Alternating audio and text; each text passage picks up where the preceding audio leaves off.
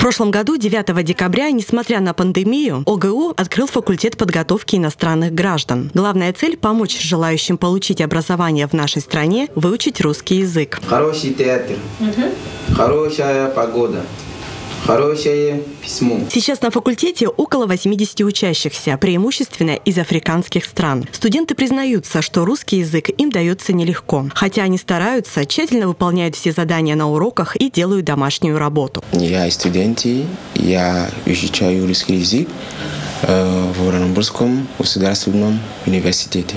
Я хочу быть врачом. Это моя мечта.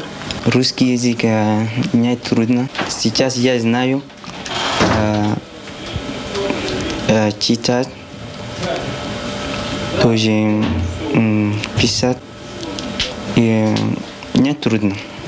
Я люблю это читать, читать э, книгу э, русский, по-русски, и потом играть в футбол. Оренбургские студенты гостеприимно приняли иностранных ребят в свою семью и теперь вовлекают их в жизнь университета. Приятным сюрпризом для гостей стала поездка в Ташлу, где можно было покататься на лыжах и сноуборде. Ведь в своих странах многие из ребят никогда не видели снега. По словам тьютера Алины Береговой, именно климат для большинства иностранных гостей стал сложностью в адаптации. Но по прошествию времени они привыкли одеваться теплее и теперь без проблем выходят на улицу и посещают мероприятия. Мы посещаем очень много выставок, э, ходим в музеи, посещали недавно э, поисковый клуб «Патриот», ходили в музей УГУ. Три раза в неделю они ходят в ФОС играть в футбол. Ребята изучают традиции и культуру России. К примеру, Новый год справляли в Оренбурге и подчеркнули для себя много интересного. Да, например, с э, Новым годом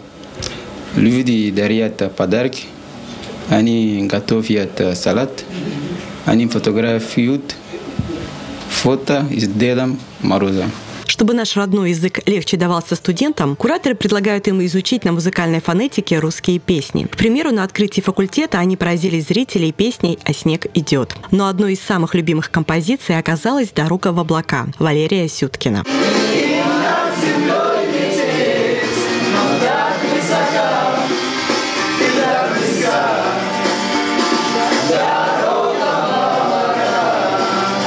Студенты из Республики Чад, Египта, Алжира, Сомали, Франции, Индонезии и Иордании планируют учиться на факультете подготовки иностранных граждан около года в очном формате. Многие из молодых людей хотят остаться жить в России и продолжить образование в оренбургских и других российских вузах. Елена Кудаева, Илья Сальников, городской телеканал ЮТВ.